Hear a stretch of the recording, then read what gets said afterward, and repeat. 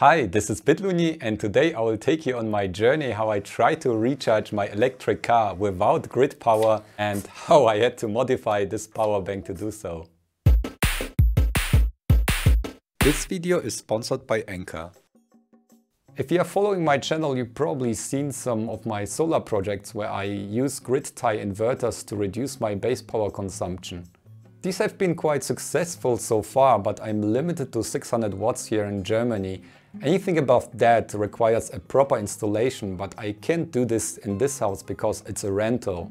I didn't try an off-grid solution yet because I can basically change anything here in this house. Since we don't want any fossil fuels, we got a small electric car and now I want to recharge that, but really at the lowest price possible. Even though the energy prices are really scammy at the moment, it's still the cheapest to charge at home with an AC charger like this here. So I thought why not use the AC charger during good weather to recharge the car. The problem is that the 600 watt limit basically limits also the amps that I can put in my grid. I was able to measure good to amps after all the conversion losses. But the AC chargers have some current specification and the lowest current you can go is 6 amps. The most chargers wouldn't even go lower than 8 amps, but I was able to find this on AliExpress. I linked it below if you want to have one. So the best I can do is to get like 2 amps from the solar and 4 amps from the grid which is already okay since I can reduce the charging cost by one third. However, I wanted to recharge the car without any electricity from the grid at all. The best way would be to have a battery buffer that I can recharge slowly with solar and then dump all the energy at once in my car. And this is where Anker comes into play. They asked me if I want to test their 757 power bank. It's a beast. and I told them that's what I need for my project right now. So this isn't a regular review, I really put it into use. But no worries, I tested it with all my power tools and also as a UPS for my PC, but more on that later. What's important for my use case right now is that it's able to output 1500 watts AC constantly and even 2000 peak in my test for a short amount of time. The other feature is that you can not only charge it really quickly with 1000 watts from AC, but it has also a built-in MPPT charge controller on the back. This one supports up to 30 volts at 10 amps. You can charge it from anything as long it doesn't exceed the 30 volts limit. But no worries, there is a protection. There is protection on everything in this device. So that's why they are able to give you like 5 years warranty on that. So we can recharge the 1200 watt hours slowly from the solar and then dump all the energy at 6 amp AC into my car. After the battery is empty, we can recharge it again and repeat the whole cycle. But first let's test how far we can get with 1200 watt hours. First of all I recharged the power bank completely. Oh yeah. Then I brought it to my car, plugged in the AC charger and turned the AC on. It immediately started charging at 1400 watts. And that's actually the 6 amps that we require. The sides of the power bank have huge grills. This allows the air to enter at one side and exit at the other side. So this cooling solution allows this quick charge and discharge. I came back 50 minutes later and the battery bank was already discharged. I checked the range again and we got about 8 kilometers from the complete charge. So you actually could use this power bank as a range extender and maybe help a friend at the side of the road somewhere. So the charging worked. As next step I wanted to test the MPPT charge controller. I used the included XT60 cable to connect my old 100 watt solar panel. There are specific Anker solar panels that you can get with this device but I didn't get those. This panel has an open circuit voltage of 18 volts, which is within the 30 volts that are supported. It is even able to recharge while discharging at the AC outlet. I noticed a bug though, when I turn off the AC sometimes it shows 0 watts input. But my current meter at the solar panel is still showing some current flowing. So I guess it's still recharging. On the next day I tested it at noon and it was able to recharge at 95 watts, so this 100 watt panel would recharge the missing 33% of the charge within 4.6 hours. I wanted to test one of my big 300 watts panels from the roof.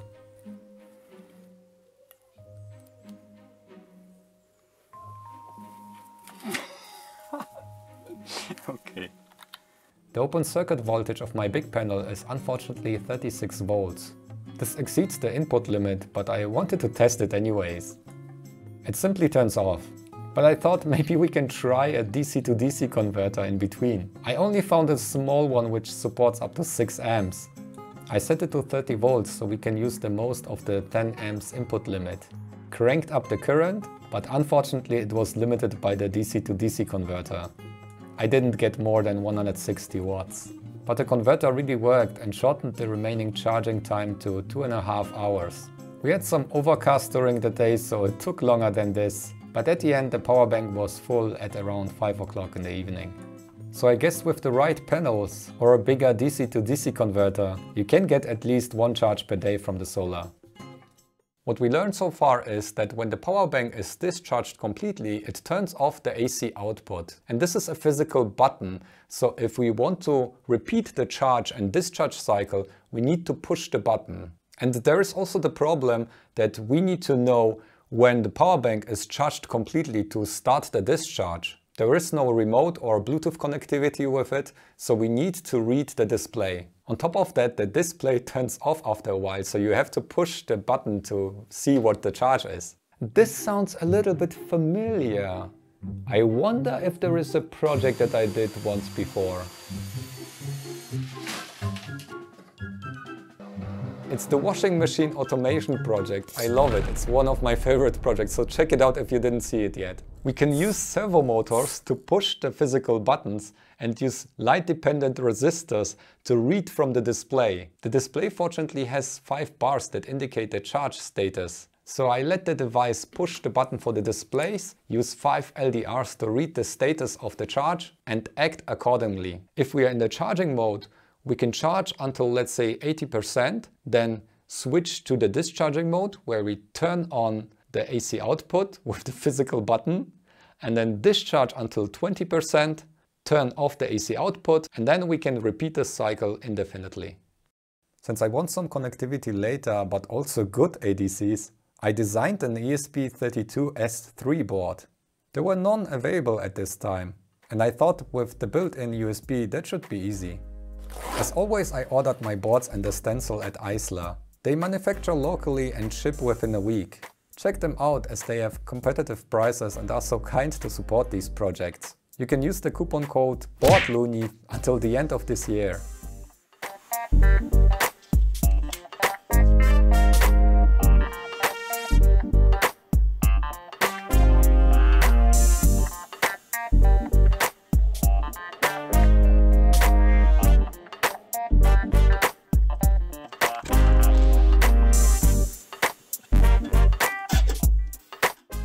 The assembly was quite simple, since there were only a few components. You can of course use any other off-the-shelf ESP boards for that if you like to copy my project.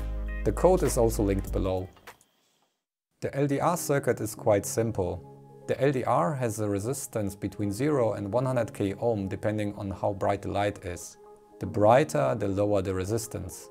You basically make a voltage divider with the LDR and the resistor in series. And sure enough it worked. I designed the actuators and a simple sensor plate in Blender and printed it. For the servos I just used the LED controller and basically implemented a function to push the button. You can probably just use the pure servo with a servo horn, but I like these 3D printed attachments with these fingers. You know how I hate jumper wires, so let's transfer it to a perf board.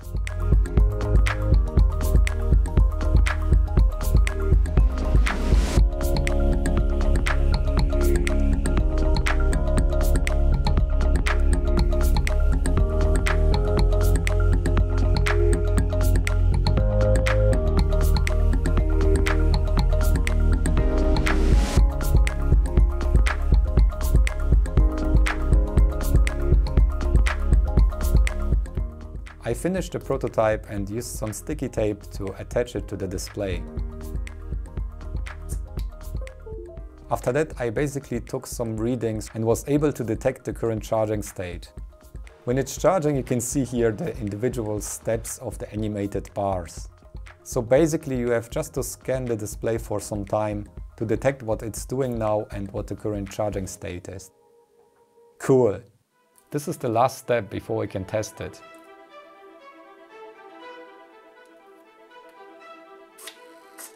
So let's test it.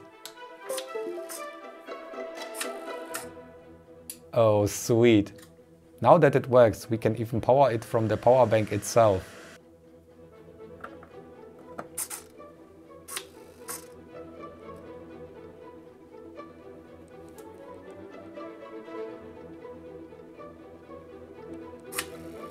It detects that it's fully charged and turns on the AC output. Cool. But before we do the final test, let me do the review part, because I think this power bank is capable of more than you can imagine. I started with the simple test like fast charging from the USB-C. The upper port supports up to 100 watts output, so it can drive my TS80 soldering iron no problems. Since I'm interested in using it on a construction site, I had to test every single available power tool at home. Heat gun, shop vacuum, jigsaw, power drill, circular saw, power planer, angle grinder, the sander, the 3D printer, water pump, hedge trimmer, garden trimmer, leaf blower, the compressor. The only thing that it had problems with was this metal saw. The initial power was simply too high, but I turned it to a lower power at the start and then increased the power later. That worked. Of course I can also use it to recharge my crazy pocket bike and all the other power tools that I got. And here it is powering the oscilloscope that's measuring the sine wave output. Of course you can use it for camping as I do. I wouldn't go anywhere without my dinner grill. And that one runs at 1400 watts. But I think the best use case I tested with this device is the USB mode. I'm not only able to run my complete PC setup with four screens, an additional C64 with CRT, the lights and speakers from that device, but I can also plug in the AC input and remove it again without any interruption.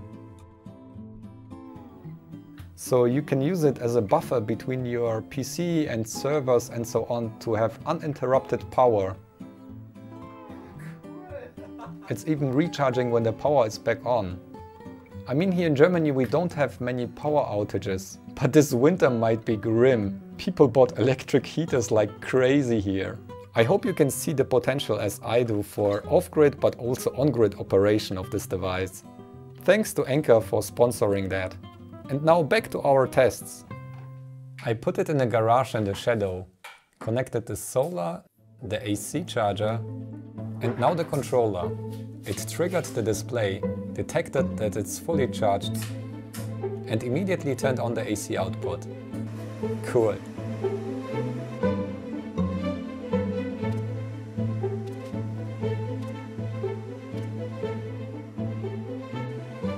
Once it reached 20%, it turned off again and started the recharging cycle. From this 80% we got 6 kilometers of range. Let's see what happens when the charging cycle reaches 80%.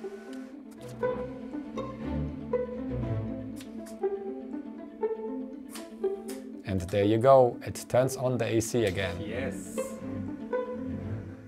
My conclusion is it works, but it might not be the best and most convenient solution yet. If you are interested in stuff like that, consider subscribing and maybe even supporting my channel. Thanks to Anker for sponsoring this video, great thanks to all my supporters and I see you next time. Bye!